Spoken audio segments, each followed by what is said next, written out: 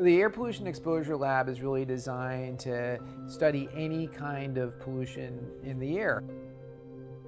Air pollution is known to cause asthma and COPD, uh, but also if you have asthma and COPD already, air pollution will exacerbate it. So that can lead to just worse symptoms or maybe even an emergency visit or occasionally a hospitalization.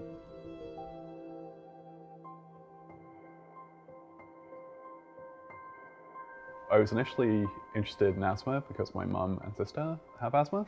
The focus of my PhD research was looking at how anti-inflammatory drugs that are used in asthma treatment work and how they're affected by different stimulus. What Chris Rider did in his previous training was work in a lab that showed how steroids are less effective under certain circumstances. And we thought that perhaps pollution would do the same thing. There's lots of types of air pollution. So one is from traffic, which we've always focused on. Diesel, it turns out, globally is the most common source of the fine particles. These are the very small particles that get deep in the lung, especially in urban environments. So it's a logical thing to study. The study is called the Diesel Induces Glucocorticoid Resistance Study, or DIGGR for short. I started to have different asthmatic symptoms when I was about 10. If I'm around smoke, that definitely can trigger an asthma attack. Sometimes a larger vehicle will go by and the exhaust gets me a little bit. I wanted to participate in this study because I thought the research question was really important. I think not enough studies are done that sort of pay attention to real life situations. The exposure booth was designed to be a space where we could control the exact amount of air pollution flowing in and out in real time so that we can see exactly what you're exposed to and then afterwards we could track how that affects your body. The exposure itself is not considered dangerous. It would be similar to visiting a big city like Beijing or Delhi for two hours. The point of DIGGR is we think that air pollution might be reducing the effectiveness of these asthma medications.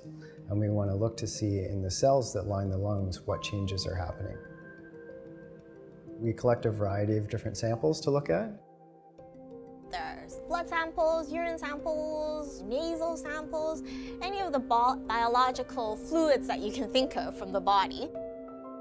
There are certain things that we will store for future usage in our fancy minus 80 freezers. We'd be looking at how different immune cells change and move around. And we can also look to see how different immune cells are coming in and changing the way the lung functions.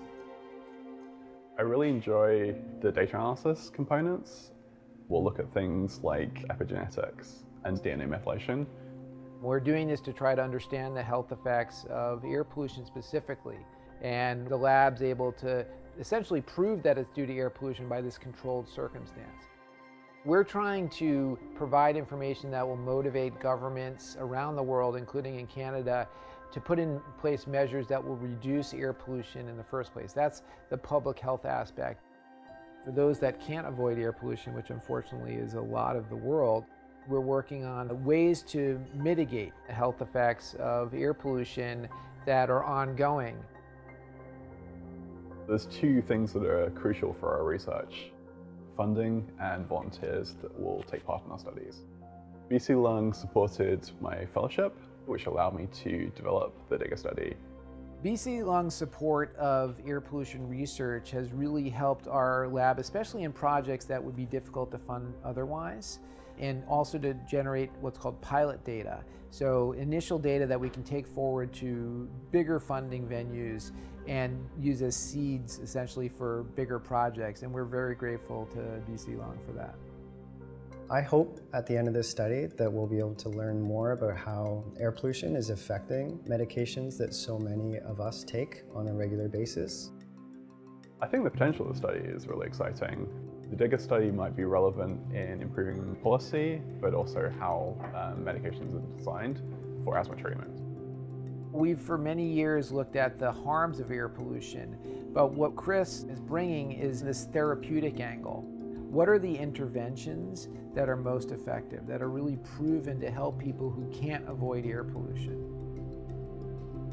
That's what we want to get out there, but it has to be based on real evidence.